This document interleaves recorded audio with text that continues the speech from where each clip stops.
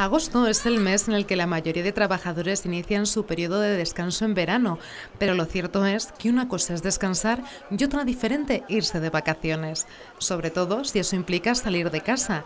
Cuatro de cada diez españoles no pueden permitírselo. Todo el mundo merecemos, aunque sea unos días, para desconectar un poco de lo normal y eso cambiar un poco de la rutina. Y es que aunque parezca que la situación económica está mejorando... La situación yo creo que se ha recuperado y con diferencia del año pasado a este. Este año, hablando con la gente ahí en la playa, ha, ha ido de vacaciones la mayoría de los vecinos.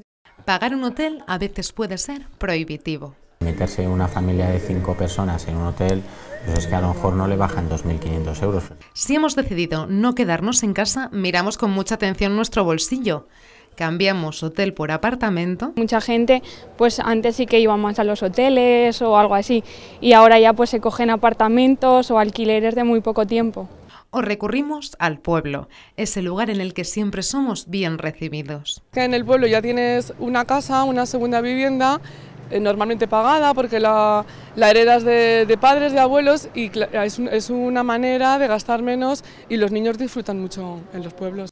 Nos cuesta renunciar a las vacaciones, a ese privilegio. A mí es que sale y entra con otro aliciente, entra con otros ánimos y todo el mundo debería de salir se despeja. Y más ahora con la crisis tan grande que tenemos que nos hace más falta despejarnos. Así que si podemos, nos vamos menos días, pero nos vamos. No a lo mejor en, un, en, base a una semana, pero yo creo que todo el mundo siempre, de alguna manera o de otra, siempre termina saliendo a, casa de los amigos o de un fin de semana cortito, pero yo creo que todo el mundo termina saliendo. ¿eh?